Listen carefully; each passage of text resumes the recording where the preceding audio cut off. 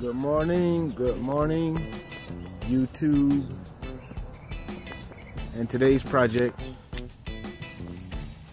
is a full resod here in beautiful Jacksonville. We had a lot of rain this morning, but now,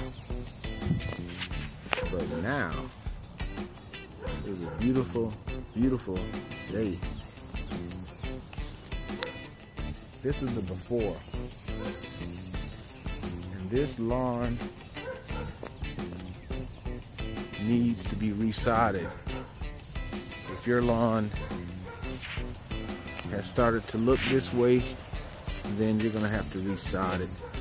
Once the weeds have completely taken over, then there really is no other option. We start the process with the inspection of your sprinkler system. We flag every sprinkler and complete a full report. Number one of how many sprinklers do you have and what type of sprinklers are they? And if there are problems with the sprinklers, then we take care of it. Sprinklers may need to be replaced or adjusted our goal is to make sure that once we replace the sod that you have excellent coverage. My goal was to make sure I didn't drop my phone into that grate. That's a side note.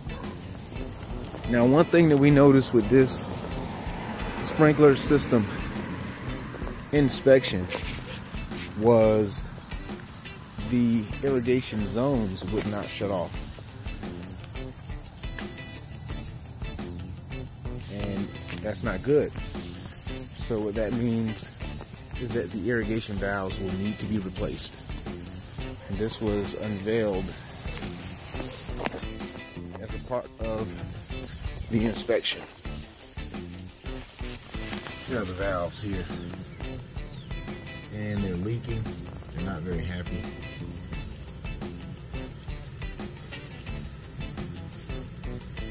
the issue that they're having is they're not cutting off the water. That's the most popular symptom of a bad irrigation valve is when it just refuses to cut off the water. So that's the issue we have going on here. It's affecting about half of the valves.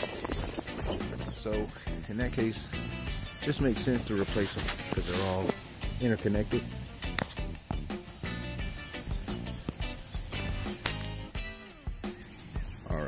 Here's the backyard. I'm gonna get some better pictures.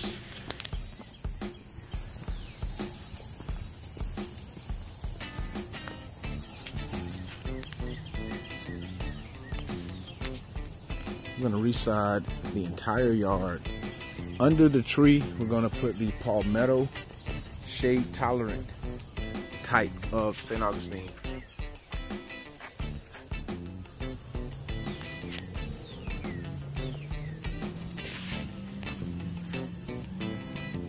Stay tuned. What a beautiful day.